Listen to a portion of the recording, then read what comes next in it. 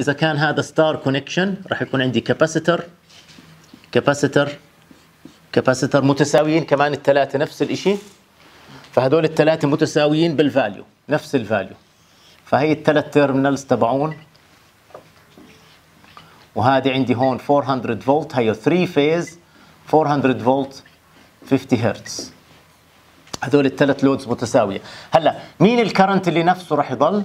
12 12 ف 12 امبير راح يمشي زي ما هو. في حين هون 12 ما كان نفسه مش هيك لأنه هاي delta connection هون star connection فهون عندي 12 امبير هون راح يكون عندي 12 امبير. مين الفولت وطبعا 12 امبير في الثلاث حالات كلها. شوفوا ال convention تبع ال current كيف راح أرسمه. okay؟ بس طبعا هم هدول بينهم زوايا. 12 و 12 لأنه بصيرش أجمع 12 و12 و12 يعطيني واضح فاهمين؟ مش راح يز... لو جمعت 12 لازم يكون هدول لهم زوايا. لو بدنا نكون دقيقين شو راح تكون زاوية الأول مثلا؟ ال voltage zero. ال voltage من هون راح يكون zero. هلا راح يصير هدول ب... المهم بين هذا وهذا راح تكون الزاوية 120 هذا lagging هذا ب 120 وهذا lagging هذا ب 120 okay؟ هلا بهمني ال voltage. ال line voltage 400 اذا قديش راح يكون ال phase voltage؟ اذا VC بيساوي ال V phase بيساوي V line على جذر الثلاثة. اللي هو 400 بصير 230 فولت اي سي مش هيك؟ و IC بيساوي I line هو نفسه I phase هو بيساوي 12 مش هيك؟ 12 أمبير.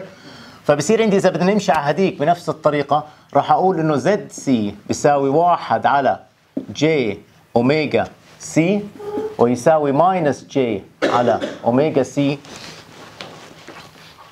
ويساوي minus j 330 على على 12 آه، 230 230 على 12 قديش 230 على 12 19 وربع. أوم. هي minus j من هون. فبصير عندنا واحد على omega C بيساوي 19.25 اذا C بتساوي 19.25 في 314 آم، واحد على